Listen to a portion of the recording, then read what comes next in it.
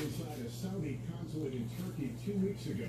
NBC News has learned tonight that the Saudi government is preparing to admit to the death of Jamal Khashoggi as a result of an interrogation gone wrong. Word of the acknowledgement comes just hours after President Trump seemed to accept Saudi denials of any involvement while speculating Khashoggi may have died at the hands of rogue killers. Our chief foreign affairs correspondent, Andrea Mitchell, has the late details.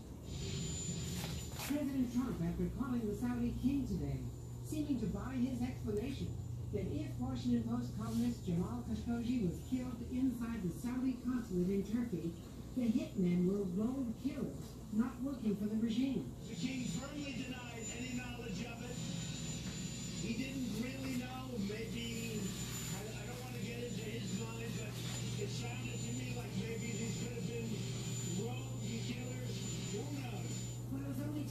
13 days after Khashoggi disappeared there, that the Saudis let Turkish police inside, hours after a cleaning crew entered. And tonight the Saudi leaders are discussing a plan to admit that Khashoggi was killed after entering the consulate.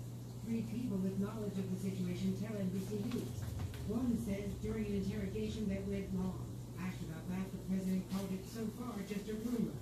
He's sending Secretary of State Mike Pompeo to Saudi Arabia to get answers.